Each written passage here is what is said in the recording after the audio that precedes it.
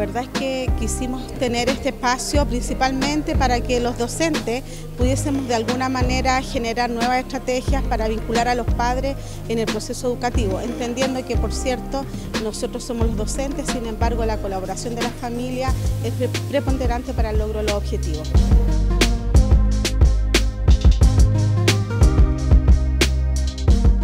Básicamente el tema es mejorar los vínculos a todos los niveles, vínculos de los niños consigo mismos, los vínculos de los niños con sus compañeros, los vínculos profesor-alumno y los vínculos de los padres con los profesores.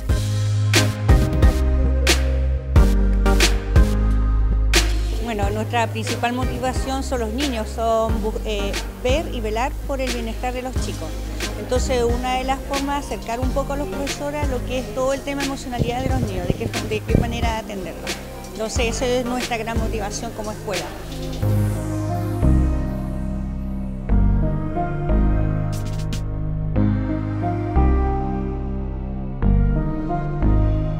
Bueno, la verdad es que esta oportunidad con Neva Milicic aclara muchísimo gran parte de lo que nosotros como escuela estamos haciendo y por cierto nos deja un enorme desafío respecto de cómo vincular a los padres y cómo nosotros como docentes utilizar las mejores estrategias para que esto se produzca de una manera afectiva y que se genere un vínculo entre la familia y la escuela.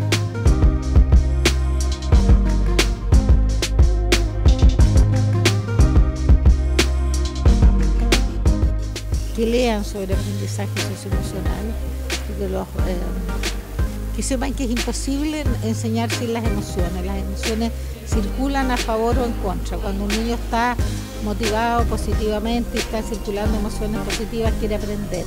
Cuando está circulando emociones negativas, está bloqueado, no quiere aprender, no hay nada que bloquee más el aprendizaje que el que se asocien emociones negativas al aprender.